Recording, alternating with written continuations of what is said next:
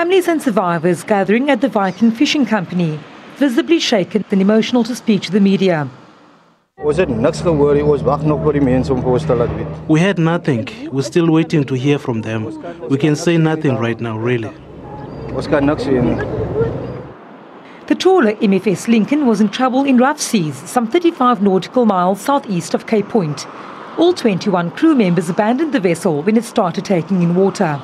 We have retrieved nine bodies, and uh, two are confirmed to have been lost. Uh, that's two bodies that were recovered, and in recovery, uh, slipped out of their life jackets alongside the vessel, and the bodies sink immediately.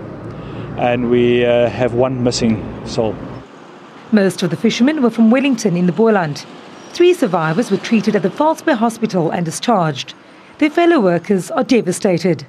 It's understandable that nobody wants to talk now. They will in time, not immediately.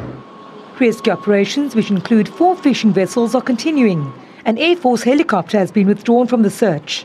At this stage, sea conditions are favourable, so it's not hampering the search operation at all. And it is an ongoing search operation at this stage. Viking Fishing, owners of the MFS Lincoln, say the vessel was seaworthy at the time of the incident. It has since been stabilised and is currently being towed towards the Table Bay Harbour. Vanessa Puna, SABC News, Cape Town.